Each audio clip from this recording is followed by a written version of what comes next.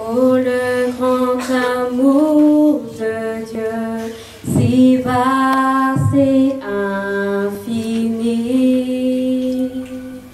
Voyez le Christ, le Fils de Dieu, pour nous donnant sa vie.